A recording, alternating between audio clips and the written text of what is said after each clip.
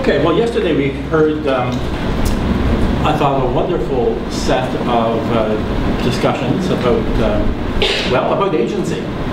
And I counted, by my count, about 12 mentions of agency throughout the, uh, the various presentations. I felt that uh, probably my colleague Brian Morgan had more than the average. Um, and uh, it was very interesting that he mentioned that he builds agency into his uh, English as a world language course or uh, sociocultural issues in teaching English, in which he asks students to identify an issue, to develop a, um, a conception of the issue, how the issue could be improved, and to actually carry out um, the solution of the issue. In other words, he actually builds uh, agency into his his, uh, his course, his practice, uh, as part of teacher education.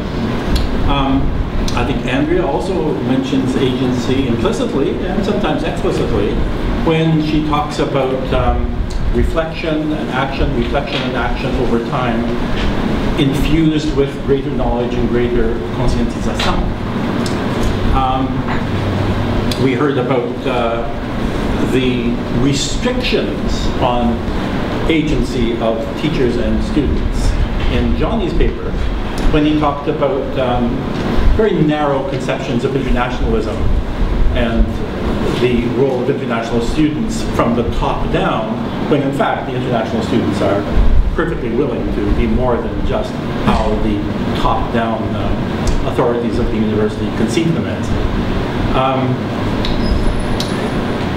so coming to, so we've been warmed up on agency. And of course, all of you who read uh, Walkyria's paper between the Primo and Secondo courses of the Italian meal last night will um, have also been warmed up to that possibility.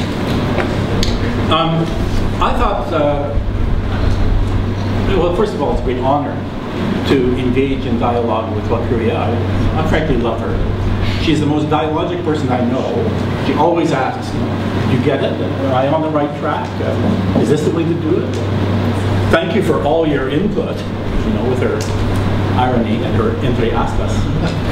Um, and the paper is a, a, very interesting expression of the concern that she has as a teacher educator about apparent failure of um, teacher education programs, at least for English teachers in, uh, in Brazil, to um, to embody agency, to enact agency, to take agency on board as part of their uh, professional profile. And she gives us a survey of uh, the historical reasons why this may be the case. The Jesuits, uh, mind you, uh, Papa Francisco, you know, let's face it, on those beaches at uh, Copacabana, he uh, had some agency. Come on, give him, you know, give him some love. Um, she talked about uh, coloniality, which uh, kind of never goes away if you study uh, indigenous policies either in Canada or in Brazil. And the uh, which probably um, is part of the lives of all the teacher educators of a certain age who are very likely um, recovering from that experience. In other words, she talks about the historical uh, moments in Brazilian history which have impeded um, the development of a social consciousness in which agency would be a part. But by virtue of doing that, by referring to history, there is a period of Brazilian history which you didn't mention. This one. These moments after the protest of the junho. In the five days I've been here, I've done everything I can to talk to people about it, to read uh, journals and um, magazines, and to understand what it is that is the task of teachers, of educators to do in Brazil now. This even, by the way, was part of the little Portuguese course that, that Brian and Jonty and I are part of back in Toronto. Our teacher brought in a document, Brazil News. Let's see if I have it. Why, yes, I do. Um, in which she asked us to read an article, Mudança de Status Nacional, Brasil passa de deitado eternamente em berço esplêndido para verás que um filho teu não foge à luta. and of course, none of us, this is completely opaque. So we did what um, every good Brazilian does. We learned the national anthem.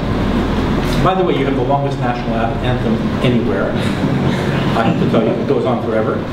Um, but that's okay. There's a lot to be taught in national anthems. And who knows, a really great critical agency the, um, treatment of uh, a Portuguese chorus might take a serious look at the Brazilian national anthem, what, what is happening there. Certainly, certainly a um, treatment of uh, English studies in Brazil should look at the Canadian national anthem uh, both in its English and its French forms, and um, find out what's going on there. For example, just a couple of days ago, there was a basketball game between uh, Brazilian and uh, Brazilian and Canadian women here. I don't know who won, but I noticed um, the two teams singing their relative national anthems, and um, you know, the Brazilians certainly sang the national anthem, and the Canadians. But there is the second line of the Canadian national anthem um, which is O Canada, our home and native land, which actually everyone knows is our home on native land, um, not our home and native land. True patriot love for all our sons command. And I could see these girls, our women's basketball team, one of them actually said, instead of, she said, for all our daughters command. and I thought, wow, maybe they're going to win today. Um, let's see. Three more minutes. Three more minutes, okay. A really nice treatment of um, Walkyria's paper would look at a third aspect of agency. We learned agir, to act is very important. We learned that agency is not well developed in teacher training programs. But there was one aspect that was not developed, and that's another word in the word family, namely agenda. Agenda is what is to be done. Why have agency? What is it for? Is it just to acquire greater English, or is it for something else? And if it's for something else, where is that something else to be found? Uh, the general view of English is it's found in the economics of globalization and to assist young people around the world to jump on the train, hopefully get a job, hopefully become an entrepreneur, and fill the requirements of neoliberal, neoliberal, neoliberal um, corporate capitalism. That is an agency, a, type of agency, and a type of agenda, which I think has to be fought vigorously. And I think it's the responsibility of English teachers around the world, because English is becoming the world's global language, to occupy English. And to occupy English, I have an agenda for it. One more minute.